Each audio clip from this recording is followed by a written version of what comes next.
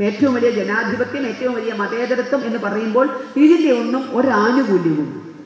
ഇതിന്റെ നിയമപരമായ ഒരു സാഹചര്യത്തിൽ പോലും നമുക്ക് സ്ഥാനമില്ലാത്ത ഒരവസ്ഥ ആ അവസ്ഥ നമ്മുടെ പ്രതികരണ കുറവ് കൊണ്ടാണ് ആ അവസ്ഥ നമ്മുടെ സംഘടിതമായ ശക്തിയുടെ അഭാവം കൊണ്ടാണെങ്കിൽ അത് നമുക്ക് അവസാനിപ്പിക്കേണ്ടത്. നാളെ ഹിന്ദുവിന്റെ എല്ലാ ആ മറ്റേ സ്വത്തുവകകളിലേക്കും ഈ കടന്നുകയറ്റം ആയിക്കൂടെ? ആയിരത്തി എണ്ണൂറ്റി പതിനൊന്ന് സെപ്റ്റംബർ പതിനൊന്നിന്. സെപ്റ്റംബർ പതിനൊന്ന് എന്ന് പറഞ്ഞാൽ നമ്മുടെ മനസ്സിൽ നിൽക്കുന്നത് വേൾഡ് ട്രേഡ് സെന്ററിന്റെ തകർച്ചയാണ്. അതേപോലെ ഒരു തകർച്ചയാണ് ആയിരത്തി എണ്ണൂറ്റി പതിനൊന്ന് സെപ്റ്റംബർ പതിനൊന്നിന്.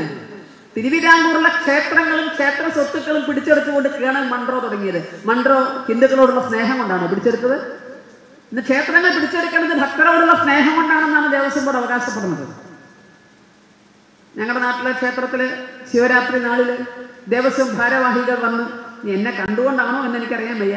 ശിവനെയൊക്കെ മറന്നുകൊണ്ട് മുഴുവൻ പറഞ്ഞത് ക്ഷേത്രം പിടിച്ചെടുക്കേണ്ടതിന്റെ ആവശ്യകതയെ പറ്റിയായിരുന്നു ആ ക്ഷേത്രത്തിന്റെ രക്ഷാധികാരിയാണ് ഞാൻ. അപ്പൊ അതുകൊണ്ടാണോ എനിക്ക് വിശ്വമില്ല പറഞ്ഞു പിടിച്ചെടുത്താലുള്ള ഗുണങ്ങളെ പറ്റി പിടിച്ചെടുക്കേണ്ടതിന്റെ ആവശ്യകതയെ പറ്റിയാണ് പേർത്തും പേർത്തും പേർത്തും ദേവസ്വം ഭാരവാഹികൾ പറഞ്ഞത്. അപ്പോ അന്ന് ഹിന്ദു ക്ഷേത്രങ്ങളുടെ സ്വത്തും ക്ഷേത്രങ്ങളും പിടിച്ചെടുത്തതിന്റെ അല്ലെങ്കിൽ അത് ദേശസാൽക്കരിച്ചതിന്റെ ദുരുദ്ദേശം ഹിന്ദുത്വത്തിന്റെ ശക്തി കുറയ്ക്കുക എന്ന് തന്നെയാണ് ഇതേ വ്യക്തി തന്നെ ക്രൈസ്തവ ആരാധനാലയങ്ങൾക്ക് ഇഷ്ടം പോലെ സമ്പത്ത് അങ്ങോട്ട് കൊടുത്തിട്ടുണ്ട്. ഹിന്ദു ക്ഷേത്രങ്ങളുടെ സ്വത്തുക്കൾ പിടിച്ചെടുത്ത അതേ വ്യക്തി തന്നെ തിരുനക്കര ക്ഷേത്രത്തിലെ തിരുവാഭരണം അടക്കം പിടിച്ചെടുത്തു. കോട്ടയം തിരുനക്കര ക്ഷേത്രത്തിന്റെ തിരുവാഭരണം അടക്കം പിടിച്ചെടുത്തു. മുന്നൂറിലധികം മേജർ ക്ഷേത്രങ്ങളും ആയിരത്തി ഒരുന്നൂറിലധികം മൈനർ ക്ഷേത്രങ്ങളും. അന്ന് ഈ കേണൽ മൺട്രോയുടെ ഒറ്റ ഉത്തരവിലൂടെ ദശസാൽക്കരിക്കപ്പെട്ട ദുരവസ്ഥയായി പോയി അവിടുന്ന് ഇങ്ങോട്ട് എന്തൊക്കെ വൈതരണികൾ കടന്നാണ് ക്ഷേത്രങ്ങൾ മുന്നോട്ട് വന്നത്? അതൊന്നും പോരാതെ അല്ലെ? അത്തരത്തിലുള്ള എല്ലാം കഴിഞ്ഞ് ലഹളകളും ബഹളവും എല്ലാം കഴിഞ്ഞ് ഭൂപരിഷ്കരണത്തെയും അതിജീവിച്ച് മലബാറിന്റെ ക്ഷേത്രങ്ങൾക്കൊക്കെ കണ്ണീരണിയുന്ന കഥകളാണ് പറയാനുള്ളത്. അവിടെ പലപ്പോഴും പലപ്പോഴും അവിടുത്തെ കൽവിളക്കുകളിൽ വിളക്ക് വെച്ചാൽ തിരിക്ക് കത്താൻ മടിയുണ്ടാകും. കാരണം വെള്ളത്തിന്റെ നനവുണ്ടെങ്കിൽ തിരി കത്താൻ ബുദ്ധിമുട്ടല്ലേ? കൽവിളക്കിൽ തിരിവെച്ച കത്താൻ മടിയുണ്ടാകും അതിൽ വെള്ളത്തിന്റെ നനവുണ്ടാവും. നമ്മുടെ പൂർവികർ ഒഴുക്കിയ കണ്ണീരിന്റെ നനവ്. ആ ക്ഷേത്രം തകർക്കണത് കാണുമ്പോൾ ഒഴുകിയ കണ്ണീര്.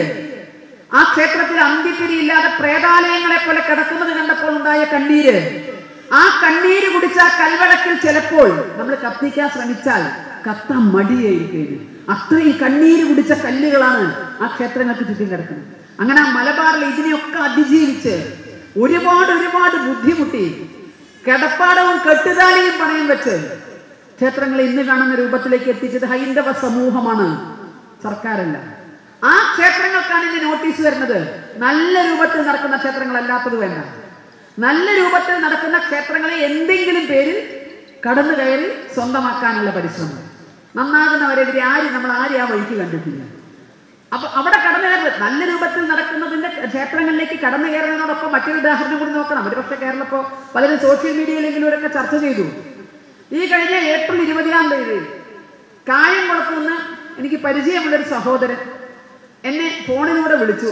ഒപ്പം വാട്സാപ്പിൽ കുറച്ച് ഒരു വീഡിയോയും കുറച്ച് ഫോട്ടോസും ഒക്കെ അയച്ചു. അത് അയച്ചു തന്നത് അദ്ദേഹം ആലപ്പുഴ ജില്ലയിലാണ്. പറഞ്ഞത് പക്ഷെ ആലപ്പുഴ ജില്ലയിലല്ല. ഞങ്ങൾ അന്വേഷിച്ചപ്പോൾ പത്തനംതിട്ട ആലപ്പുഴ ജില്ലയുടെ ബോർഡറിലെ പത്തനംതിട്ട ജില്ലയ്ക്ക് ഉള്ളിലാണ്. പരിമല എന്ന സ്ഥലത്ത് അവിടെ കുറുമ്പശ്ശേരി മഹാവിഷ്ണു ദേവസ്ഥാനം തിരുവിതാംകൂർ ദേവസ്വം ബോർഡിന്റെ പൂർണമായി തിരുവിതാംകൂർ ദേവസ്വം ബോർഡിന്റെ ഉടമസ്ഥതയിലുള്ള കുറുമ്പശ്ശേരി മഹാവിഷ്ണു ദേവസ്ഥാനം.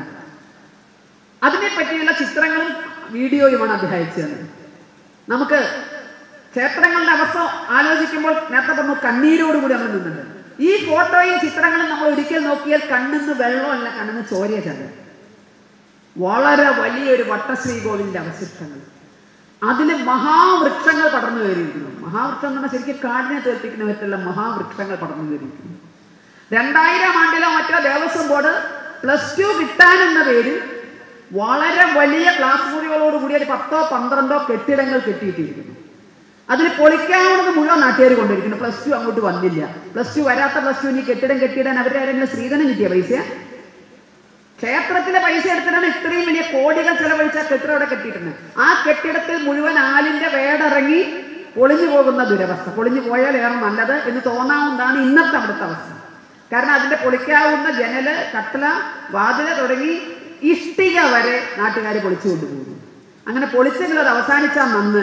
കാരണം ഞങ്ങൾ കഴിഞ്ഞ ദിവസം അവിടെ ചെന്ന് നോക്കിയപ്പോൾ അതിലെ ക്ലാസ് മുറികളിലൊക്കെ മദ്യക്കുപ്പികൾ ചെതറിക്കിടക്കുന്നു.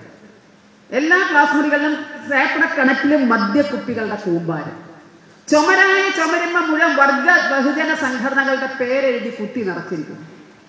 സാമൂഹ്യ വിരുദ്ധരുടെ കയ്യിലെ താവളമാണ് കള്ളും കഞ്ചാവും പെണ്ണുമായിട്ട് ആ അമ്പലത്തിൽ കെട്ടിയിട്ട ക്ഷേത്രങ്ങളിൽ നിരങ്ങുമ്പോൾ ക്ഷേത്രങ്ങളിൽ കൽവളക്ക് തെളിക്കുകയും കാട് വെട്ടിത്തെളിച്ച് ചെരാതിലെങ്കിലും ഒരു തിരിവെച്ച് ആ അവിടുത്തെ നാമം ചൊല്ലി ചൈതന്യത്തെ ഉണ്ടാക്കി ആ ക്ഷേത്രത്തെ പുനരുദ്ധരിക്കാൻ അത്യധ്വാനം ചെയ്തവർ ക്ഷേത്ര പറമ്പിലൊന്ന് ഒത്തുകൂടിയാൽ. അത് അപകടമാണ് എന്ന് പറഞ്ഞ് അതിനെതിരെ ഉത്തരവിറക്കിയ ദേവസ്വം ബോർഡാണ് ഈ കള്ളും കഞ്ചാവും പെണ്ണുമായിട്ട് അതിനിടയിൽ നടക്കുമ്പോൾ അവരെ പുറത്തേക്ക് ഇറക്കി വിടാൻ ബാധ്യതയില്ലാതെ നിൽക്കണം. ഈ ക്ഷേത്രങ്ങളൊക്കെ നേരേക്ക് ഒരു അമ്പലപ്പറമ്പിലൊന്ന് ഒരുമിച്ച് കൂടിയാൽ അത് വലിയ അപകടമാണ്. അതിനെതിരെ ഉത്തരവിറക്കി. അമ്പലപ്പറമ്പിൽ ഒരു കൂട്ടായ്മയും പാടില്ല അമ്പലപ്പറമ്പിലെന്ന് ഇത്തരത്തിലാകാം. ആ കെട്ടിടം നശിക്കുന്നു. സാമൂഹ്യ വിരുദ്ധർ അവിടെയുള്ള ഒരു ക്രൈസ്തവ സഹോദരൻ പറഞ്ഞത് ഇത് നിങ്ങളൊരു ക്ഷേത്രമാക്കിയില്ലെങ്കിൽ ഈ കെട്ടിടം പൊളിച്ച് കളയിച്ചില്ലെങ്കിൽ നാളെ ആളുകളെ ഇവിടെ കൊന്നിട്ടിട്ട് അതും നമ്മൾ കാണേണ്ടി വരുന്നു ആളുകളെ കൊന്നു കൊണ്ടുവന്നിട്ടിട്ട് അതും നമ്മൾ കാണേണ്ടി വരും. ഇത് പറഞ്ഞത് ഒരു ക്രൈസ്തവ സഹോദരന്റെ അഭിപ്രായമായിരുന്നു. അവിടെ ചുറ്റും താമസിക്കുന്ന. അപ്പൊ അങ്ങനെ ശരിക്കു പറഞ്ഞാൽ എല്ലാ ഈ കൂത്തരങ്ങായി ദേവസ്വം ബോർഡിന്റെ കയ്യിലുള്ള ക്ഷേത്രം നടക്കുമ്പോഴാണ് ഭംഗിയായി നടക്കുന്ന ക്ഷേത്രങ്ങൾ.